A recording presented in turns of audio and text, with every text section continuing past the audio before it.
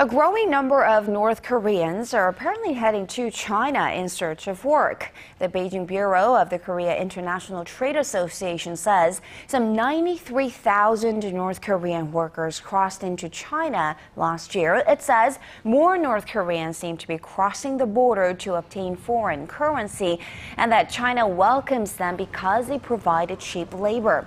The figure has increased by an average of nearly 20% annually since 2000. 2010. That's in sharp contrast to the number of migrant workers from other countries, which grew just 9% during the same period. About 44,000 North Korean workers crossed into China in the first half of this year alone.